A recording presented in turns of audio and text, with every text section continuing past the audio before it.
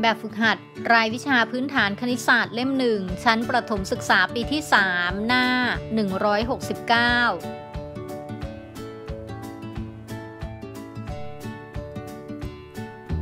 อย่าลืมกดติดตามกันด้วยนะคะทุกคน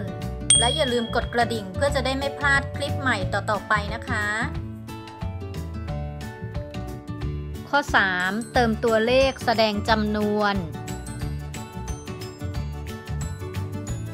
ข้อ 1 แก้วตาซื้อเสื้อตัวละ 200 บาทจำนวน 2 ตัว แก้วตาต้องจ่ายเงินซื้อเสื้อทั้งหมด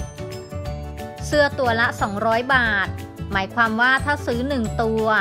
ต้องจ่ายเงิน 200 บาท ถ้าซื้อ 2 ตัว ต้องจ่ายเงินเท่าไรก็ต้องจ่ายเงินเพิ่มมากขึ้นนะคะ ก็ต้องนำ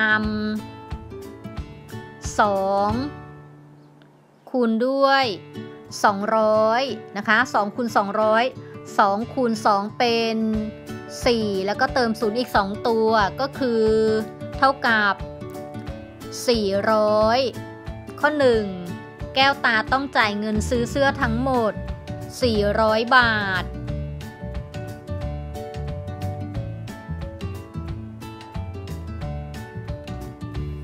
ข้อ 2 ชาวสวนปลูกดาวเรือง 5 แถวแถวละ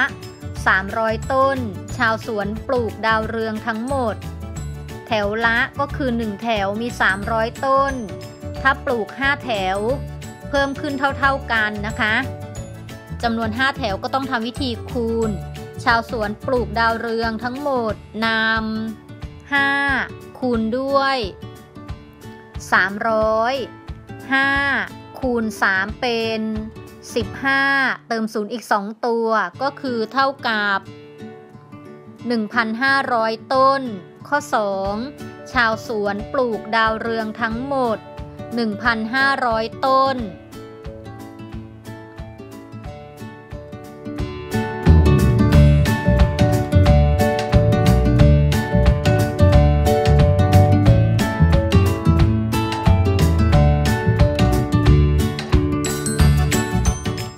ข้อ 3 พนักงานจัดเก้าอี้ในห้องประชุมแถวละ 100 ตัวจำนวน 8 แถว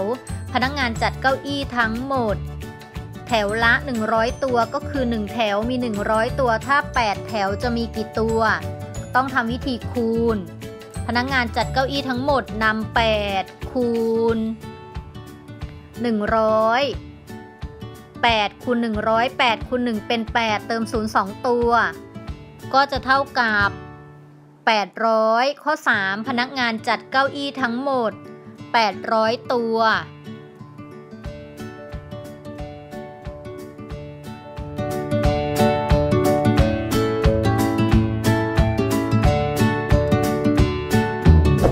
อยากเก่งคณิตคิดถึงคุณครูพึ่ง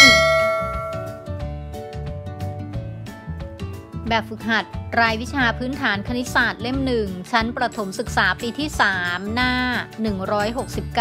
169